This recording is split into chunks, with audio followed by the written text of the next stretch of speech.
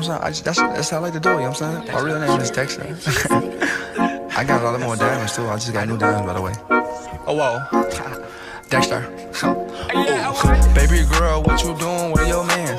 I just popped a Zan, 50,000.